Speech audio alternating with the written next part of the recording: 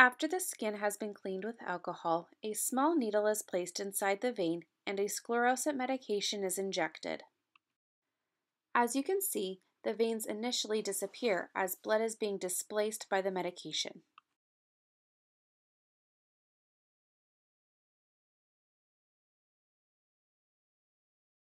Shortly after the veins have been injected, they will appear red. This is a normal reaction as blood refills into the veins. After treatment is complete, compression stockings are applied and the patient will wear them for one to two weeks.